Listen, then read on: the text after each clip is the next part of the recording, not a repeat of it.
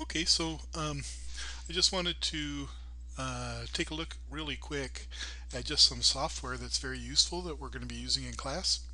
Um, and it's just to do some linear algebra work. And the software is called Octave, octaveonline.net. Okay, and so here it is, and it's got Octave command prompt is down below here. And the nice thing about this is that Octave is a free version of MATLAB. And so um, MATLAB is uh, some code that was built a long time ago to be a front end to, to, linear algebra. And so some of the commands are very useful and very fast if you just want to do a few computations. So um, in the example here, I'm looking at um, trying out the solving that system of differential equations uh, for the set of equilibrium solutions. And so I'm just going to type in my matrix A first. And my matrix A was, uh, let's see, 1 over 50. You can double check your matrix times. And this is how we enter a matrix uh, in MATLAB. It's just the, um, the first element. Let's see, it was minus 3. And then, oh, no, wait a minute. Uh, oh, I need to rewrite that. Uh, minus 6 uh, 2 and then if you put on a semicolon you get the new row and then we'll have a 6 minus 9 okay and then if you hit enter you'll see the matrix there. Okay and then uh, furthermore we have the vector b on the other side of the equation that was minus 24 uh, 0 and so now I'm trying to solve ax equal b right so if I say, I can just uh, say that uh, x solution is equal to the inverse of A, I N V A times B. And so there's my solution. And just to double check that that is the same, remember in class I was saying that it was 1800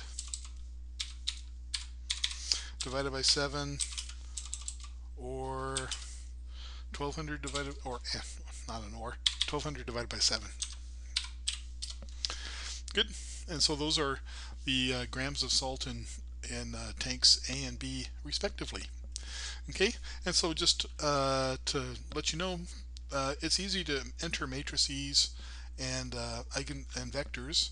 So if we want a three by three uh, matrix, for example, I could just actually I could enter a random three by three. And if I don't want to have Octave print out the output, I can put a semicolon on the end, and then it doesn't. Now I wonder, um, just out of curiosity, if I pick a random matrix like this, a random 3 by 3 matrix, I wonder what the eigenvalues are like. So I could ask eigenvalues of A, and it'll give them to me. And so I could do that again, rand, eigenvalues, rand eigenvalues. Rand eigenvalues. Hmm there's some interesting things about this right? Are you noticing anything in particular that might be interesting? In particular are you seeing any oop complex numbers? They finally popped. Yeah so it took us quite a while of sampling before we actually got a set of uh, complex numbers but um, yeah, so that's one way to get your eigenvalues is the command eig.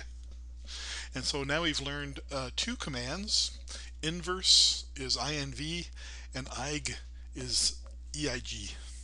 Okay, and so um, if you want the full set of eigenvectors and eigenvalues, by the way, you could uh, have two outputs by taking square bracket v comma d equals eig and now what happens is uh, V is a vector, uh, contains the eigenvectors, and the D is the diagonal containing your eigenvalues.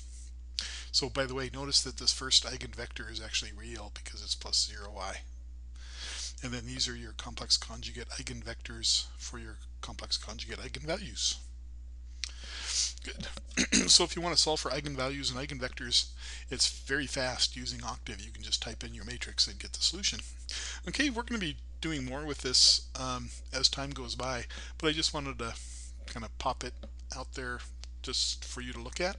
And in fact, I'm going to give you a code for uh, you to use and where we'll be able to share um, code back and forth. And so when you log in, you'll be able to see some of my code and I'll be able to see some of your code if you want, if you wanted to share that. Okay, so um, it's it looks like it'll be interesting uh, software to try. Um, so I would encourage you to to get a maybe get an account. Um, like I said, it's free to try it out. So uh, we'll try it out and see what happens. Okay, I'll see you later.